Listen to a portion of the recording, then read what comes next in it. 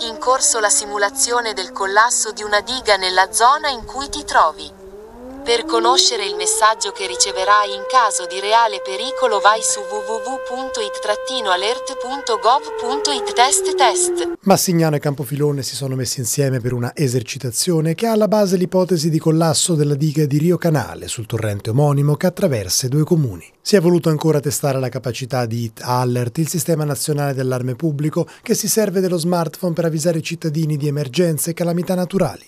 Obiettivo verificare se tutti i presenti nel territorio ricevono allo stesso modo la segnalazione per poter intervenire tempestivamente. Abbiamo attivato 10 sentinelle su tutto il territorio di Campofilone che una volta arrivato il messaggio si attiveranno per dare delle risposte in modo che la protezione civile possa capire se i messaggi sono arrivati a tutti i tipi di telefoni, a tutti i gestori della telefonia perché questa è una cosa che è importante, potrebbero esserci dei problemi in quel senso. Rispetto alla precedente esercitazione, l'ultima il 12 settembre scorso, questa volta la zona interessata è stata soltanto quella dei due comuni dove è collocata la diga. L'allarme arriva tempestivamente perché il sistema si aggancia ai cellulari presenti in zona, anche se a volte il segnale è scarso o ricevono o non ricevono il messaggio dovranno mandare o compilare un questionario per mandare la risposta a Roma perché così Roma riesce a vedere dove, dove arrivano questi messaggi. Faremo solo le procedure e chiameremo qualcuno, senso, non, non attiveremo